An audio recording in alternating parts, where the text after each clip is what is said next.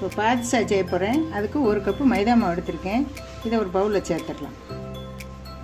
இதில் ஒரு table spoon தயிர் ஊற்றிருக்கேன் ஒரு பிஞ்சு உப்பு. கொஞ்சமாக பேக்கிங் சோடா இப்போ இதில் ஒரு மூணு டீஸ்பூன் பட்டர் போட்டுக்கோங்க. மூணு டேபிள் ஸ்பூன் பட்டர் போட்டிருக்கேன். அப்படியே விரவிடலாம்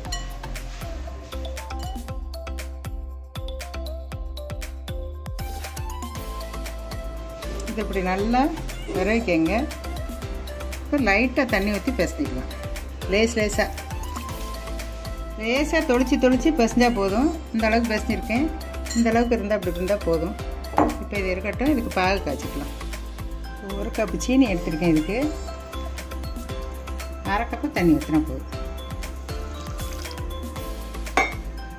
இப்போ வந்து இது பாகு பதம் வரணும்னு அவசியம் இல்லை. இப்போ சீனி கரையணும். லேசாக திக்னஸ் இருந்தால் போதும். இதில் கொஞ்சோண்டு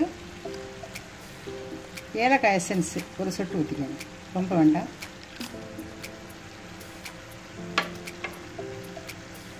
இது ரோஸு.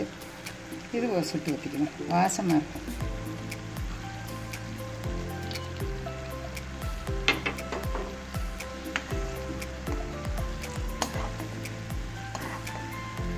அவ்வளோதான் இப்போ வந்து நம்ம அடுப்பு ஆஃப் பண்ணிடுவோம். கொஞ்சம் ஒரு அரை எலுமிச்சம்பழச்சாறு.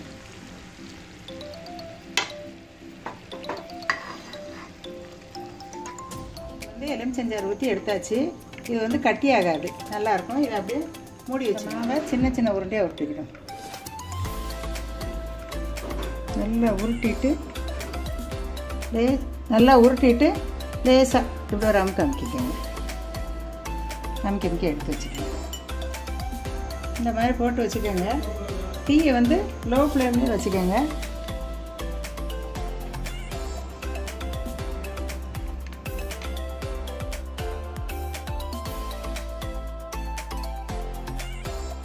போடுறப்ப லோ ஃப்ளேமில் வச்சுக்கோங்க. அதுக்கப்புறம் மீடியம் ஃப்ளேமில் வச்சுக்கோங்க. அப்படி நல்லா அது வெந்து மேலே வரும். இது ஒரு சைடு வெந்துருச்சு. பையை பைய திருப்பி போட்டுக்கலாம்.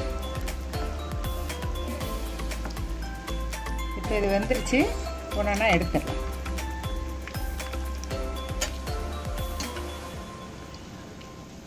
வந்து இதை நம்ம சீனிப்பாய் எடுத்து வச்சுருக்கோம்ல அதில் போட்டு இது நல்லா சீனிப்பாவில் அப்படியே அப்படி முங்குங்க.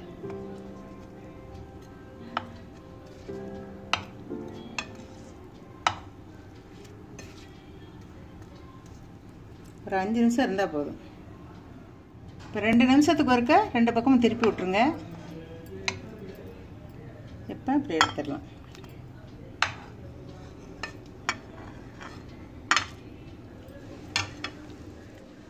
இப்போ பாதுஷா ரெடி சூப்பராக இருக்கும். நீங்களும் செஞ்சு பாருங்கள்